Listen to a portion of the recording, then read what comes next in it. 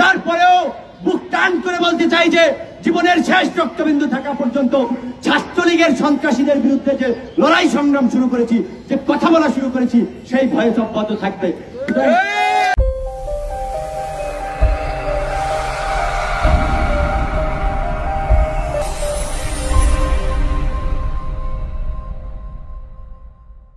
ছাত্র ভাই বোনেরা, যারা আজকে এখানে উপস্থিত হয়েছেন, ধন্যবাদ জানাচ্ছি। একই সাথে খুব দুঃখ প্রকাশ করছি যে এই কারণে যে এই বিশ্ববিদ্যালয়ে প্রায় ত্রিশ হাজার রেগুলার স্টুডেন্ট রয়েছে। কিন্তু যখনই দেখা যায় আজকে জাহাঙ্গীরনগর বিশ্ববিদ্যালয়ে হামলা হয় কিংবা কোটা সংস্কার আন্দোলন, নিরাপদ সড়ক আন্দোলন সহ বিভিন্ন আন্দোলনে ছাত্রলীগের সন্ত্রাসে হামলা হয়, সেখানে যখন প্রতিবাদ শুরু হয়, তখন এই গুটি কয়েক ছাত্র কিংবা এই গুটি কয়েক সচেতন শিক্ষার্থীরাই সর্বপ্রথম ব্যানার নিয়ে দাঁড়ায়, কথা বলার জন্য দাঁড়ায়, নির্যাতিতদের পাশে দাঁড়ায়। কিন্তু যদি এই অবস্থা চলতে থাকে, এক সময় এরাও দাঁড়াবে না, এক সময় ব্যানারটিও খুঁজে পাবেন না। আজকে শুধুমাত্র জাহাঙ্গীরনগর বিশ্ববিদ্যালয় আক্রান্ত নয়, আজকে পুরো সমাজ, পুরো রাষ্ট্র আজকে আক্রান্ত। আজকে এই দেশের প্রত্যেকটি সেক্টর, সাংবিধানিক প্রতিষ্ঠান ধ্বংসের দ্বার প্রান্তে। সেটা বিচার বিভাগ বলেন, প্রশাসন বলেন, শিক্ষা প্রতিষ্ঠান বলেন। প্রত্যেকটি জায়গা আজকে ধ্বংসের দ্বার প্রান্তে। সেটা আপনার চোখের সামনে দেখেও যদি সেগুলো রক্ষার জন্য কথা না বলেন, তাহলে এই দেশের ভবিষ্যৎ অন্ধকার। এই প্রজন্ম নয় শুধু, এই জাতির ভবিষ্যৎ অন্ধকার। আজকে যখন মানুষ ন্যায় বিচার পায় না, ন্যায় বিচারের জন্য মাননীয় প্রধানমন্ত্রীকে হস্তক্ষেপ করতে হয়, যখন ফেরিতে একজন ছাত্রীকে পুড়ে মারা হয়, সেটা ন্যায় বিচার নিশ্চিত করার জন্য প্রধানমন্ত্রীর মুখ থেকে নির্দেশ আসতে হয়। যখন ক্যাসিনো বিরোধী অভিযান চলে, সেখানে প্রধানমন্ত্রীর নির্দেশ আসতে হয়। যখন বিশ্ববিদ্যালয়ের দুর্নীতিগ্রস্ত নীতি নৈতিকতা কাণ্ড জ্ঞানহীন ডিসিদেরকে সরানোর প্রয়োজন হয়, তখন প্রধানমন্ত্রীর নির্দেশের প্রয়োজন হয়। আমরা একটা কথা বলতে চাই, এই যে তিনশো এমপি রয়েছে, মন্ত্রী রয়েছে, সচিব রয়েছে, তাদের পিছনে যে রাষ্ট্রের হাজার হাজার কোটি টাকা ব্যয় করছে, তারা কোন কচু করে? সবকিছুই যদি প্রধানমন্ত্রী দেখতে হয়, তাদেরকে চাকরি থেকে আউট করে দেন না। তিনশো এমপি দিয়ে কি হবে? তিনশো মন্ত্রী দিয়ে কি হবে? তারা কি ভাত রান্না করবে? নাকি রাস্তায় গাড়ি চালাবে? নাকি জনগণের টাকায় এসিওয়ালা গাড়িতে হাওয়া খেয়ে ঘুরে বেড়াবে? সব কাজে যদি প্রধানমন্ত্রীকে দেখতে হয়। এটি দ্বারা একটি জিনিস স্পষ্ট হচ্ছে, আপনাদেরকে বুঝতে হবে আজকে। প্রত্যেকটি সাংবিধানিক প্রতিষ্ঠান, সেটা হোক বিচার বিভাগ প্রশাসন, সেটা হোক শিক্ষা প্রতিষ্ঠান, আজকে ধ্বংসের দ্বার প্রান্তে পৌঁছে গেছে। আজকে দেশে একটি অকার্যকর রাষ্ট্রের দিকে দাবিত হচ্ছে, যেখানে একটি বিশ্ববিদ্যালয় চালাতে হলে বিসিদের লাঠিয়াল বাহিনীর প্রয়োজন হয়। তাদেরকে প্রোটেকশন দেওয়ার জন্য সন্ত্রাসী বাহিনীর প্রয়োজন হয়। আর সেই সন্ত্রাসী বাহিনী কি? ক্ষমতাসীন দলের ছাত্র সংগঠন, যেটা অতীতেও যেই দল ক্ষমতায় থেকেছে, তাদের ছাত্র সংগঠন সন্ত্রাসের ভূমিকায় অবতীর্ণ ছিল তা ভূমিকা পালন করেছে। এখন ছাত্রলীগ, এখন আওয়ামী লীগ ক্ষমতায়, এখন সেই দায়িত্ব লাঠিয়াল বাহিনীর দায়িত্ব, বিসিদের রক্ষার প্রোটেকশন বাহিনীতে পরিণত হয়েছে ছাত্রলীগ। আর যেহেতু পরপর তিনবার এই সরকার ক্ষমতায়, ছাত্রলীগ এখন লাগামহীন বেপরোয়া হয়ে গেছে। আপনারা দেখেছেন, এই ছাত্রলীগের সাংগঠনিক নেত্রী ছিলেন মাননীয় প্রধানমন্ত্রী শেখ হাসিনা। এই ছাত্রলীগের বিতর্কিত কর্মকাণ্ডের কারণে তিনি কিন্তু তার দায়িত্ব থেকে অব্যাহতি নিয়েছেন।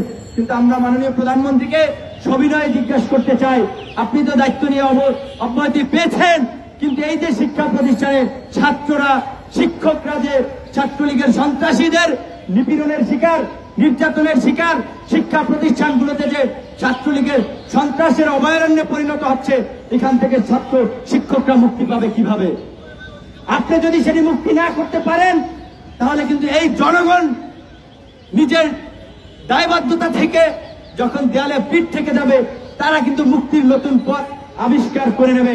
যেটি করেছিল সেই স্বৈরাচারী আয়ুব খানের সংগঠন এনএসএফ কে প্রতিহত করতে।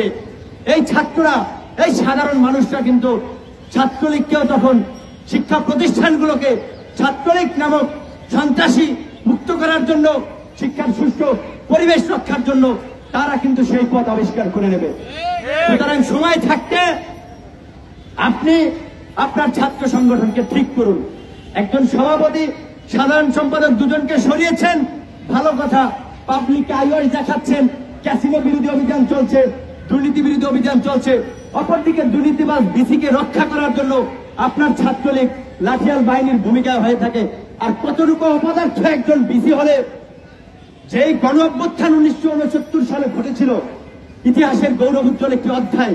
সেই অধ্যায়ের সাথে তুলনা করতে পারে ছাত্রলীগের সন্ত্রাসী হামলা। কতটুকু কাণ্ডজ্ঞানহীন হলে এমন বক্তব্য দিতে পারে? তিনি একটু অনুতপ্ত হননি, বরঞ্চ বলেছেন, এটি নাকি তার জন্য আনন্দের দিন। এটি শুধু জাহাঙ্গীরনগর বিশ্ববিদ্যালয়ের চিত্র কিংবা চরিত্র নয়, প্রত্যেকটি বিশ্ববিদ্যালয়ের চিত্র চরিত্র একই। গোপালগঞ্জ বঙ্গবন্ধু শেখ মুজিবুর রহমান বিশ্ববিদ্যালয়ের আন্দোলন দেখেছেন।